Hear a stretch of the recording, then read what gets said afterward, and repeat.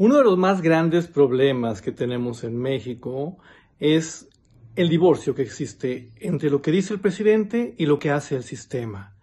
A todos nos queda claro que tenemos un presidente amadísimo, respetadísimo, bueno, qué cosa tan más increíble. Y todas las mañanas él nos dice algo, nos dice una cosa. Pero ¿qué pasa cuando volteamos a la realidad? ¿Qué pasa cuando vamos a los hospitales, cuando somos víctimas de la inseguridad, cuando ocurre lo que ocurre a diario en nuestro país? Pues que no encontramos una congruencia entre esas palabras y estos hechos. ¿Qué es lo que está pasando, eh? ¿El presidente miente? ¿Acaso le mienten al presidente y él cree saber cosas que no son ciertas? Sea lo que sea, se va a tener que corregir muy pronto, ¿eh? porque no podemos seguir así. Esto va a estallar. Necesitamos congruencia. ¿A poco no? Soy Álvaro Cueva. Gracias.